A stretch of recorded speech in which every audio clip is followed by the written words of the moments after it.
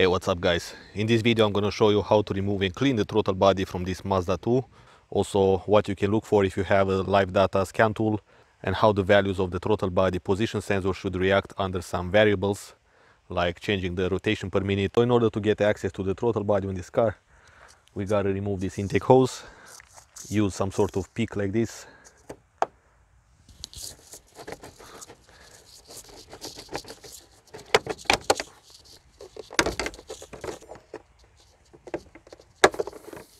So let's have a closer look and unplug the connector. Now we need to disconnect this L intake hose, the rubber one. So you've got two hose clamps with a 10 millimeter. Remove it. Okay.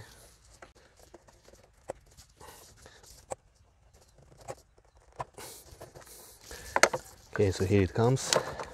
Okay, so from this point, if you have a closer look on the throttle body plate, you can go ahead and reconnect the throttle body. And now when you turn the key in the second position in the ignition and you press on the acceleration pedal, you should see the throttle body move proportional with the acceleration pedal. So let's see if that happens.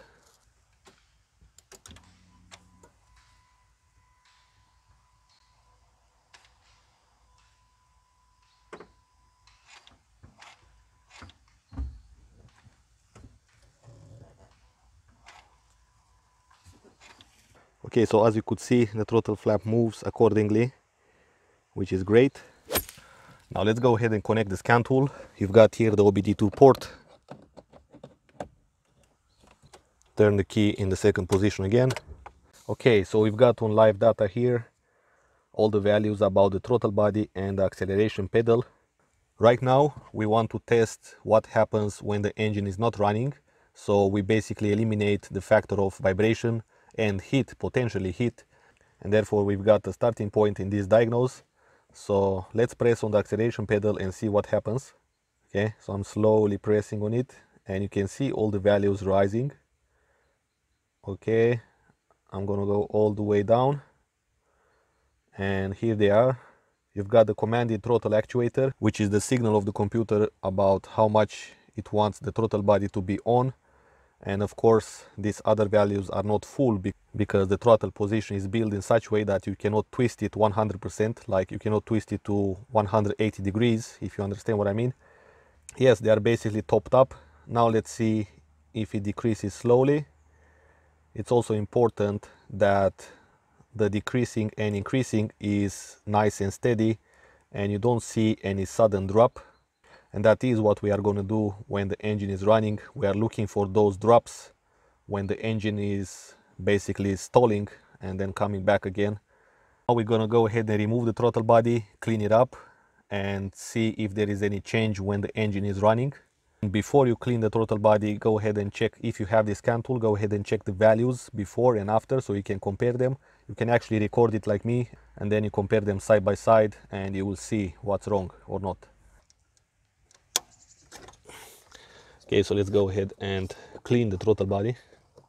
You're going to need a 10 millimeter and an extension. All right. As i said if you have a look on the other side you can see there is a lot more carbon built up compared to the front side. Okay. So i'm going to actually completely remove the throttle body from here which means that we have to disconnect these coolant hoses from here. I've got here two lockable pliers which are going to be helping me to obstruct the coolant hoses so they won't leak. Just like this.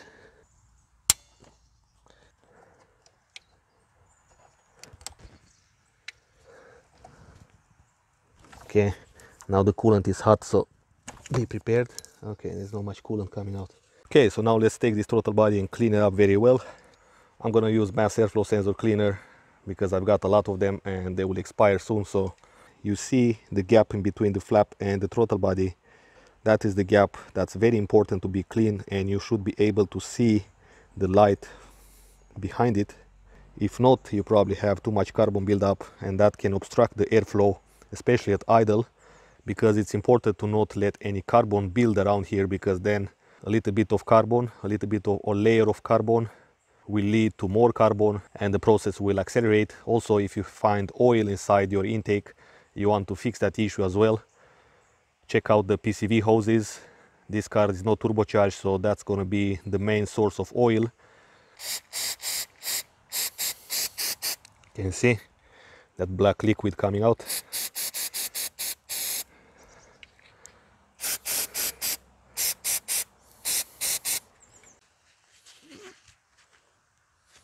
So you can see, you might think that there is no carbon buildup in here, but this carbon buildup is actually very subtle. The layer of it can be misunderstood. Even though it looks like nothing, it can still affect the engine, so give it a nice clean. Okay, so now let's install it back.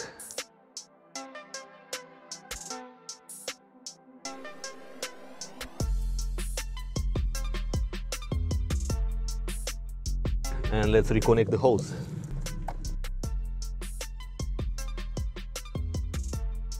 Now let's start the engine and check the values. I'm going to reconnect this scan tool. So basically the throttle body has two position sensors. It has a reference point so it can compare it to and let's see.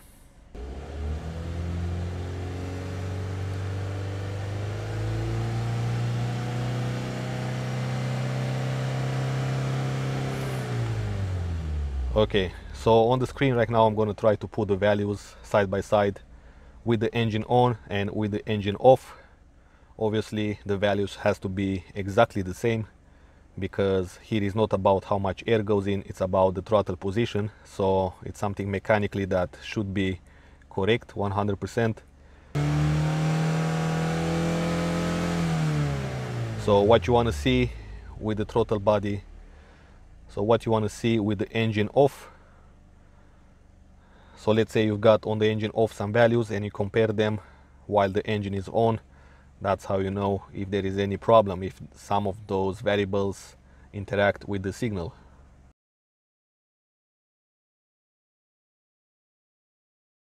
When you rev it up, you want to see how fast it will stabilize the idling.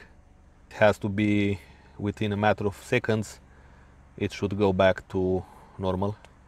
You can see there is a little bit of hesitation there. It's kind of insignificant, but that over time can progress and create more issues. But anyway, now I connected the voltmeter, so let's see what's going on.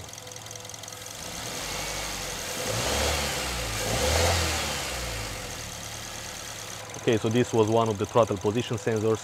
Those fluctuations were because this one was not connected properly here and you can basically do the same on the second one.